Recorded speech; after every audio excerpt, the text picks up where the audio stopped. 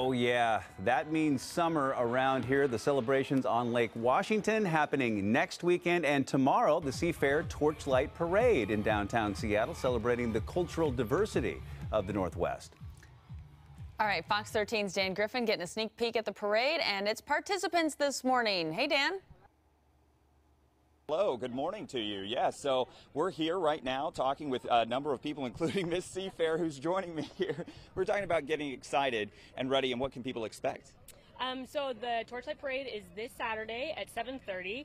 Um, there will be 80 different units in the Seafair Parade, um, and I think over 1,200 people in it.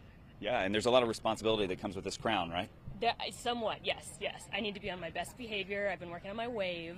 Yeah.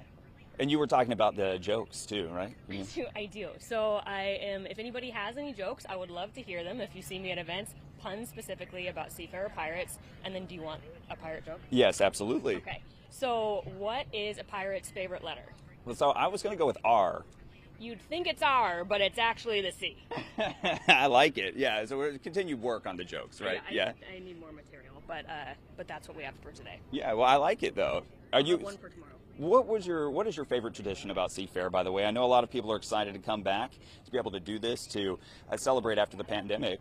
I guess we're still in it, but in this point, Um, my favorite thing is the Blue Angels. Absolutely, I've been a lifelong Top Gun fan, and so that happens not this weekend but next weekend. Um, so come out for that as well. Absolutely. And the Torchlight Parade's are going to be 7:30. It's tomorrow night. Obviously, a lot of exciting characters.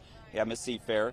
We've got King Neptune. So many different people, and obviously the uh, Alaska Airlines drill team is going to be doing their dancing. Which, by the way, I was dancing with them this morning, and I'm hoping we're going to be able to play back a chunk of that for you as we move through the morning here. So I'll bring that to you a little bit later. But uh, for now, we're live here at Seattle Center. Dan Griffin, Fox 13 News. Back to you. Can't Right. wait. Can't wait to Dancing see Danny the moves. Griffin. Oh, I love that. Oh, Dancing yeah. Dan. All